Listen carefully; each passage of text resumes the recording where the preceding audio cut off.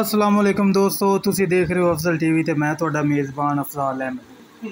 ਸਭ ਤੋਂ ਪਹਿਲੇ ਆਪਣੇ ਚੈਨਲ ਨੂੰ ਕਰੋ ਸਬਸਕ੍ਰਾਈਬ, ਨਾਲ ਲੱਗੀ ਘੰਟੀ ਨੂੰ ਦਬਾਓ ਤਾਂ ਕਿ ਲੇਟੈਸਟ ਤੇ ਬਿਹਤਰੀਨ ਵੀਡੀਓ ਦੀ ਨੋਟੀਫਿਕੇਸ਼ਨ ਪਹੁੰਚੇ ਵੀਰਾਂ ਕੋਲ ਸਭ ਤੋਂ ਪਹਿਲੇ।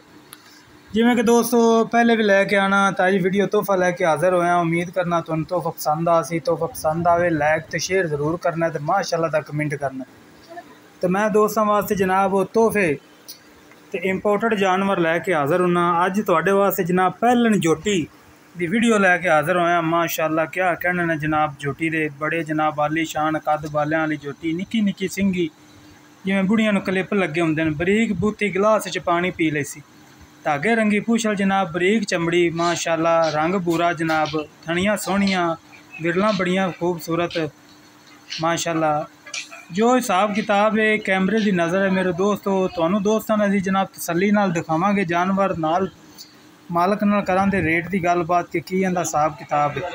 ਮਾਸ਼ਾਅੱਲਾ, ਸੀਨੋ ਜਮੀਲ ਜਨਾਬ ਤੇ ਨਵਾਬ ਖੂਬਸੂਰਤ ਜਾਨਵਰ ਲੈ ਕੇ ਤੇ ਤੁਹਾਡਾ ਵੀਰ ਤੁਹਾਡੇ ਵਾਸਤੇ ਹਾਜ਼ਰ ਹੁੰਦਾ ਹੈ। ਮਾਸ਼ਾਅੱਲਾ, ਪਿਓਰ ਨੀਲੀ ਦੀ ਝੋਟੀ ਜਨਾਬ, ਰੰਗ ਪੂਰਾ, ਬਰੀਕ ਪਤਲੀ ਬੂਥੀ। ਮਾਸ਼ਾਅੱਲਾ, ਨਿੱਕੀਆਂ ਨਿੱਕੀਆਂ ਸਿੰਘੀਆਂ ਜਨਾਬ ਸ਼ਾਹ ਕਾਲੀ ਅੱਖ, ਮੱਥੇ ਤੇ ਨਿੱਕੀ ਜੀ ਫੁੱਲੀ ਸਫੇਦ, ਮਾਸ਼ਾਅੱਲਾ।